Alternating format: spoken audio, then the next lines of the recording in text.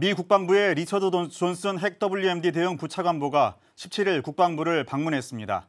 최근 미국이 발표한 핵태세 검토 보고서와 미사일 방어 태세 검토 보고서를 우리 국방부 관계자에게 설명했습니다. 오상현 기자의 보도입니다.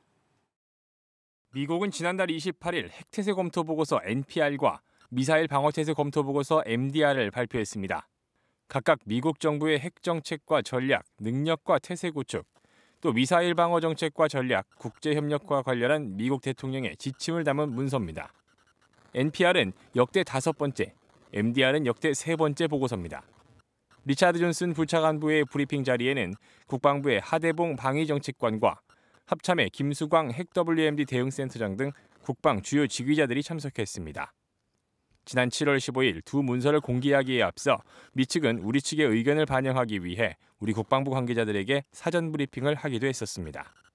이번 전략 문서 브리핑이 끝나고 양 측은 북한의 핵과 미사일 위협에 대비한 다양한 확장 억제 강화 방안에 대해 추가로 논의했습니다.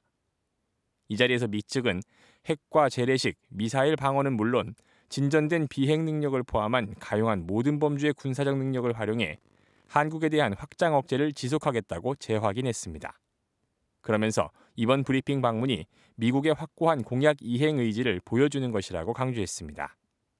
또 양측은 앞으로도 북한의 핵 미사일 위협에 대비해 실효적인 방안들을 지속 마련하기로 했습니다. 국방뉴스 오상현입니다.